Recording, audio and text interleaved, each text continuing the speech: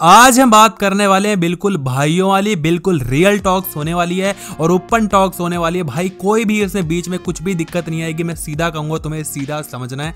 और टॉपिक ये है कि क्या हमें घपा घप के लिए गर्लफ्रेंड बनानी चाहिए या हमें अपनी गर्लफ्रेंड के साथ घपा घप करना चाहिए? अगर हमने घपा घप नहीं किया है तो क्या मैं बहुत ज़्यादा अपने आप को इन्फीरियर समझूँ? मुझे ये लगे कि मैं सोसाइटी का हिस्सा नहीं हूँ।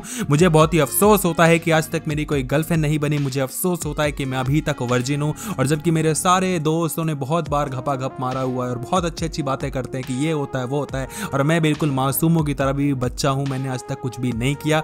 तो टॉपिक यही है, सब कुछ समझाऊँगा, समझने की कोशिश करना।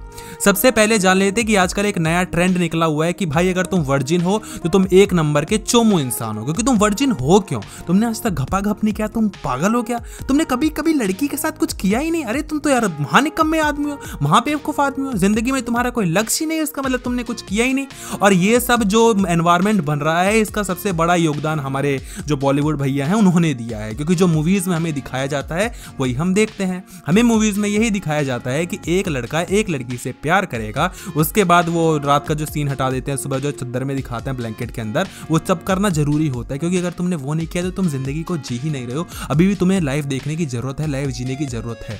दूसरी चीज़ कि अब हम क्या करते हैं कि सच्चे प्यार की तलाश में घूमते हैं। देखो, घपाघप वालों की सबसे बड़ी निशानी यही होती है कि वो सबसे पहले सच्चा प्यार का नाटक करते हैं। सबसे पहले वो सच्चा प्यार का नाटक किस तरह करते हैं? कि भाई मैंने वो लड़की देखी, मुझे सच्चा प्यार हो गया। कैसे प्यार सच्चा हो गया? क्योंकि मैंने उसको देख लिया। देख कर तो इनको सच्चा प्यार हो रहा है। तुमने क्या देखा है? मुझे बताओगे? देखा तुमने ऐसा क्या देख लिया कि तुम्हें सच्चा प्यार हो गया? मैं बताऊँ तुमने क्या देखा है? तुमने उसका फिगर देखा है? तुमने उसके लुक्स देखे हैं? तुमने उसके स्किन का कलर देखा है? या और भी कुछ हो सकता है जो तुमने देखा हो? और उसके बाद हम कहते हैं कि मुझे हो गया है सच्चा प्यार। हम आ जाते हैं रिलेशनशिप में। हो सकता है लड़की ने भी आपको देख लिया हो सच्चा प्यार कर ले हो आपके लुक्स को देख के, या आपकी पॉपुलैरिटी को देख के, या आपके पैसे को देख के, या कुछ भी देख के, लेकिन वो बाहर की चीज़ें हैं ना मेटेलिस्टिक चीज़ें अंदर की कोई भी बात नहीं हुई।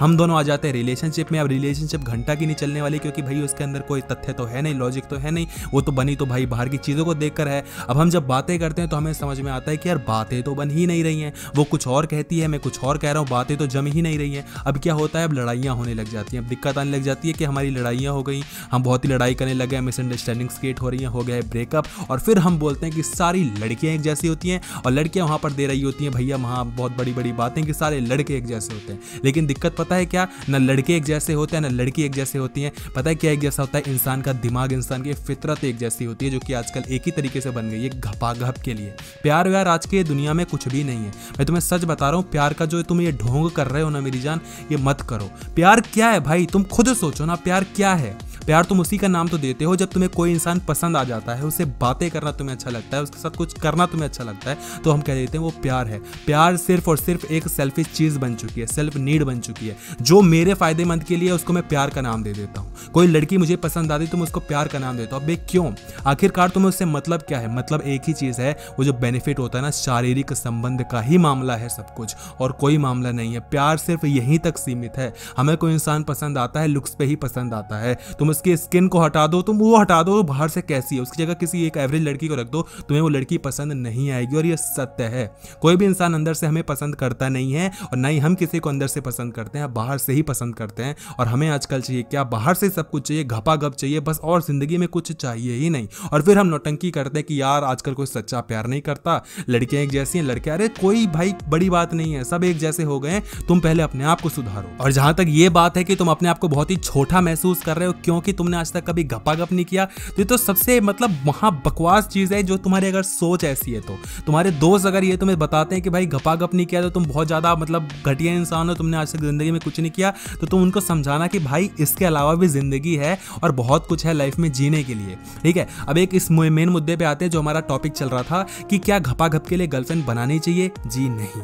आपको गर्लफ्रेंड बनानी चाहिए इसलिए क्योंकि आप मतलब कुछ भी बातें कर सको, वो आपसे कुछ भी अपनी बातें शेयर कर सके, आप उसके साथ शेयर कर सको। आप दोनों मिलकर आगे बढ़ सको। बस इतना ही आपका एम होना चाहिए। ठीक है, बाद में जो होगा, सो तो होगा ही होगा। ठीक है अब तुम कुछ भी करो, तुम्हारी मर्ज़ी है। लेकिन मेन आपका एम ये नहीं होना चाहिए कि आपको घपा घप करना है। It's all about the thinking अगर आपकी प्रायोरिटी ही घपा घप से स्टार्ट होगी तो आप आगे कुछ भी नहीं कर सकते। अंतिम में आपको जाना है यहीं पर। प्यार है ही ये। प्यार है क्या आँखों से चालू होता है और नीचे तक जाता। है बस यही प्यार है। इसके अलावा और कोई प्यार नहीं है। अगर तुम्हें लगता है कि प्यार कोई एक इलॉजिकल चीज़ है या प्यार में बहुत ही कुछ अजीब सा गुस्सा ही है जो कि समझ में नहीं आता तो तुम पागल मैं तुम्हें समझाता हूँ, प्यार सिर्फ़ एक सेक्स तक ही सीमित है। प्यार और सेक्स एक ही चीज़ है। बुरी लग रही है बात? लगेगी बात, बहुत बुरी लगेगी, लेकिन यही सत्य है मेरी जान। जितना भी हम लोग प्यार, मोहब्बत बड़ी बड़ी बातें करते हैं ना, जब हमें सेक्स मिल जाता है तो हम सब कुछ भूल जाते हैं। बड़े बड़े मैंने बड़े बड़े लोग देखे हैं, भाई, बहुतों को एग्ज़ाम्पल देखा है कि मुझे प्यार है, मुझे पता नहीं क्या ही है मतलब सच्चा प्यार हो गया, सब कुछ प्यार हो गया। जैसे ही संबंध होता है, जैसे ही वो बंदा हो जाता है पूरा सेटिस्फाइड या बंदी हो जाती है सेटिस्फाइड सारा प्यार का बुखार उतर जाता है। जैसे ही तुमने संबंध बना लिया, प्यार सब खत्म हो जाता है। अगर तो जो तुम कहना चाहते हो ना कि जो तुम्हारा प्यार है तो उसका संबंध से कोई लेना देना होना ही नहीं चाहिए। तुम सेक्स कर रहे हो, नहीं कर रहे हो, उससे उसको घंटा फ़र्क नहीं पड़ना चाहिए। लेकिन आजकल के बॉयफ्रेंड तो नौटंकी ये दिखाते हैं कि तुम अगर मुझसे प्यार नहीं करती तो यार ये तो बहुत ही गलत बात है। अगर प्यार करते हो तो तुम्हें ये करना पड़ेगा। अगर तुम ये नहीं करे तो इसका मतलब तुम मुझसे प्यार नहीं करती। और लड़कियों का भी यही सीन है कि यार मतलब ये कर रहे हैं, तभी तुम ये इसका मतलब ये कि तुम मुझसे प्यार नहीं करते। ये कर ले रहे हो तो इसका मतलब कि तुम मुझसे प्यार करते हो? ये क्या क्या फालतू बातें कर रहे हो? एक और यहाँ पर भैया अजीब सी चीज़ आ गई है कि अगर तुमने एक बार कर लिया तो तुम्हें लड़की छोड़कर नहीं जाएगी, और अगर तुमने नहीं किया तो लड़की छोड़कर चली जाएगी। मतलब एक से एक तो लॉजिक्स पता नहीं कहाँ से हम लोग ला रहे हैं। ये मतलब मुझे, मेरे समझ से ही बाहर है भाई। इसमें क्या तथ्य है भाई? इसको करने से क्या होगा भाई? और तुम ये करके देखना, अगर तुम्हारे इसके बाद प्यार सच्चा रह जाए तो मुझे बताना भाई। कमेंट बॉक्स में मुझे गाली देकर जाना, मुझे कोई दिक्कत नहीं होगी। लेकिन ये सत्य है, यही है। प्यार यहीं तक ही सीमित होता है आजकल। तो इसीलिए मैं कह रहा हूँ कि अपनी जो स्टार्टिंग है ना, कम से कम उसको इस चीज़ से मत करो। आखिरी तक तुम इसी पे जाओगे, मुझे भी पता है, तुम्हें भी पता है, दुनिया को पता है, लेकिन प्लीज़ स्टार्टिंग इस चीज़ से मत करो कि देखो, मैंने वो लड़की देखी, यार मस्त लड़की उसका ये हिस्सा अच्छा उसका वो हिस्सा अच्छा ऐसा कर दूँगा तो मज़ा आ जाएगा, वैसा कर दूँगा तो मज़ा आ जाएगा। अब अपने मज़े को, अपने सेटिस्फेक्शन को लाने के लिए, अपनी नीड्स को पूरी करने के लिए हम एक नया ढोंग और एक एक्शन मतलब एक नाटक रचते हैं, क्या होता है, उसको हम नाम देते हैं प्यार का। तो प्लीज़ ये मत करिए, मेरी मानिए, कभी भी लुक्स पे मत जाइए। अगर आपको लगता है लुक्स बहुत अच्छी चीज़ होती है, आप चाट लोगे चूस लोगे तो एक बार आप ट्राई करके देख लीजिए, उसके बाद आपको समझ में आएगा कि मैं क्या कहना चाह रहा था। चाट वाट कब तक लोगे भाई? मतलब कितनी भी हॉट लड़की, कितनी भी मस्त लड़की होगी, कब तक तुम उसके साथ सेक्स करोगे? मुझे बताओ ना यार क्लियरली बताओ। मैं बताऊँ तुम्हें, एक हफ़्ते, दो हफ़्ते, तीन हफ़्ते, चार हफ़्ते, यानी कि एक महीना, दो महीना मुश्किल से, उसके बाद सारा प्यार का बुखार तुम्हारा हट जाएगा। तीन चार बार तुमने सेक्स कर लिया, तुम सब सेटिस्फेक्शन तुम्हें मिल जाएगी, और अब तुम बहाने ढूंढोगे लड़ाई करने के, अब तुम बहाने ढूंढोगे उसको छोड़ने के।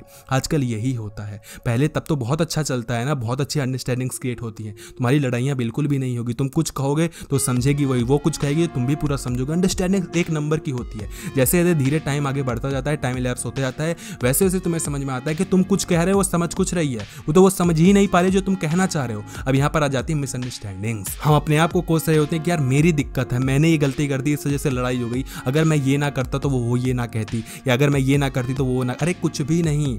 उसको करना है भैया, उसको अगर पहले भी यही चीज़ें होती थी, पहले तुम यही थे, पहले वो भी वही थी या पहले वो भी वही था, लेकिन पहले लड़ाइयाँ नहीं होती थी, अब लड़ाइयाँ इसलिए होती हैं क्योंकि उसको लड़ाई करनी है। अब उसके पास कवर करने के लिए कुछ भी नहीं रह गया क्योंकि सब कुछ खुल चुका है। जब खुली किताब हो जाती है ना तो सारा तथ्य सामने आ जाता है। तब हमें समझ में आता है कि यार यहाँ तो कुछ रहा ही नहीं। और हम क्या करते हैं कि कवर से बुक को जज करते हैं। हम ये देखते हैं कि अगर कवर अच्छा है तो अंदर से बुक तो अच्छी होगी होगी। या सच महीने में कहूँ तो हमें अंदर से कहानी से मतलब ही नहीं होता, हमें मतलब ही सिर्फ़ कवर से होता है। लेकिन जैसे किताब खुलती है, कवर हो जाता है उलट पुलट तब हमें समझ में आता है कि यार, कवर तो देख लिया, अब तो किताब खुल चुकी है, अब क्या देखो अंदर? अंदर तो वो चीज़ है ही नहीं जो मुझे चाहिए थी। इसलिए मैं आपको समझाना चाहता हूँ कि सेक्स को इतनी प्रेफरेंस मत दो घपा घप को इतनी प्रेफरेंस मत दो।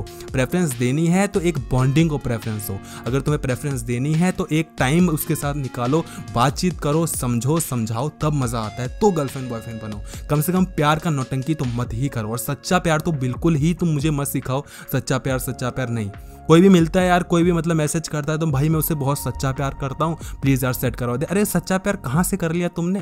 तुमने आज तक उससे कभी बात नहीं की है, तुमने आज तक उसको बस देखा देखा और देख के सच्चा प्यार हो गया। और अगर जो देख के सच्चा प्यार है, वो कौन सा ही वाला प्यार हुआ है? और अगर तुम्हें देख के सच्चा प्यार हो तो मुझे ये बताओ तुमने उसके अंदर देखा क्या है? और जो उसके अंदर देखा, वो बाकियों में क्यों नहीं मिला तुमको? क्योंकि उसके पास वो चीज़ें अच्छी अच्छी हैं। क्या चीज़ें अच्छी हैं जो तुम्हें पता है? तो मेरी जान अपनी हवस पे कंट्रोल करो। हवस पे कंट्रोल होना बहुत ज़्यादा ज़रूरी तो मेरी जान अपनी हवस पे कंट्रोल करो। हवस पे कंट्रोल होना बहुत ज़्यादा ज़रूरी है। हवस तुम्हें कंट्रोल ना कर पाए, तुम हवस को कंट्रोल करो, क्योंकि तुम्हारी हवस है, हवस तुम्हारी नहीं है ना? तो हवस को कंट्रोल मत करने दो अपने आप को कि हवस कुछ भी करे और तुम कुछ भी किए जा रहे हो। जब दिमाग में हवस चढ़ती है ना तो भाई इंसान दिमाग से नहीं सोचता, इंसान नीचे से सोचता है। तो नीचे से नहीं, ऊपर से सोचो, एकदम काम होकर सोचो, एकदम अच्छी तरह सोचो और कुछ ऐसा मत कर बैठो जिसकी वजह से तुमको पछताना पड़े और फिर तुम ये कहो कि प्यार गलत चीज़ है, इंसान गलत है। नहीं, तुम गलत हो अपने आप को पहले सुधारो। अगर मैं गलत हूँ, मैं अपने आप को पहले सुधारूँगा ही सब कुछ सही होगा। मैं अगर आपको रिलेशनशिप की बातें में बताऊँ तो। क्योंकि सच्चाई यहीं पर आ चुकी है कि लड़कियों को चाहिए पैसा, लड़कियों को चाहिए लुक्स और लड़कों को चाहिए sex the open and final point आपको बुरी लग रही होगी, लेकिन यही तथ्य है, यही चीज़ है, यही फाइनल चीज़ है, यही मतलब रियलिटी यही है भाई। लड़कियों को क्या चाहिए? लुक्स चाहिए। अगर लड़के के अंदर लुक्स होगा तो उसके हर एक जोक्स उसको अच्छे लगते हैं। लड़कों का क्या चाहिए? सेक्स चाहिए। लड़कों को भी लुक्स ही चाहिए वैसे हॉट बंदी होनी चाहिए। उसके बाद तो सब कुछ उनका माफ़ होता है। अंदर से उसको कुछ आता है नहीं, आता घंटा फ़र्क नहीं पड़ता। सब कुछ उनको अच्छा लगता है। लड़कियों को और क्या चाहिए? पैसा चाहिए। अगर लौंडे के पास पैसा है, वो खर्च कर सकता है तो एकदम मज़ा आता है। और लड़के क्या कहते हैं? क्या, लड़की तो गोल्ड डिगर है, लड़की को तो पैसा चाहिए। अब एक घंटा, तुम क्या कर तुम ये देखो ना, वो तो तब भी तुम्हारे पैसे को देख रही तुमने उसकी क्या चीज़ को देखा है? तुम ये देखो ना, इंसान अपने आप को गलत कभी नहीं बताता। इंसान बस दुनिया को गलत बताता फिरता है। लड़के यही कहते हैं कि लड़कियाँ गलत और लड़कियाँ यही कहते हैं कि लड़का गलत है। ना लड़का गलत है, ना लड़की गलत है। पहली बात तो ये एनवायरमेंट गलत है, जो तुम बॉलीवुड के चक्कर में पढ़ो प्लीज़ इस चक्कर में मत पढ़ो ये जो दिखावा है ना, दुनिया का दिखावा अलग चीज़ है। दुनिया दिखाती कुछ और है, अंदर से होता कुछ और है। जो तुम ये देखते हो ना, कैमरे पर जो इंसान दिखता है, चाहे वो यूट्यूब है, चाहे वो टिकटॉक है, चाहे वो कोई भी सोशल मीडिया प्लेटफॉर्म है, चाहे वो कोई मूवी है, चाहे वो कोई सीरियल है, वो दिखाते कुछ और है, होता कुछ और है। मैं तुम्हें रियलिटी बता रहा हूँ भाई, मैं कई ऐसे लोगों को जानता हूँ, जो कैमरे पे तो ये दिखाते हैं कि कितने अच्छे कपल्स हैं, कितने अच्छे लोग हैं, लेकिन रियलिटी उनकी इतनी खतरनाक और इतनी घटिया है कि मैं तुम्हें बता नहीं सकता, है ना? तो इन्फ्लुएंस होना बंद करो, इतने भी मत खो जाओ अपने आइडल्स में कि तुम अपने आप को ख़त्म कर चुके हो। यह रिलेशनशिप की सच्चाई आपको क्या लगता है कि जो मैंने बताया वो एकदम सही है? अगर सही लगी तो वीडियो को लाइक कर देना। आज या तो वीडियो लाइक होगी या तो वीडियो डिसलाइक होगी, बीच में कुछ नहीं होगा। बात पसंद ना आए, खुला डिसलाइक मारो, कोई दिक्कत नहीं मेरी जान। आपको अपना पक्ष रखने की पूरी पूरी मतलब आज़ादी है ना? तो वीडियो अगर अच्छी ना लगी हो तो डिसलाइक मारना, लेकिन अगर अच्छी लगी तो वीडियो को लाइक करना और वीडियो को शेयर कर देना, क्योंकि ये बातें और लोगों तक जाना बहुत ज़्यादा ज़रूरी है। रिक्वेस्ट है, बाकी तो आप इस वीडियो को सब्सक्राइब करो, ना करो चैनल को, वो आपकी मर्ज़ी है यार, कुछ नहीं हो सकता। लेकिन हाँ वीडियो को लाइक या डिसलाइक और शेयर प्लीज़ प्लीज़ प्लीज़ कर देना।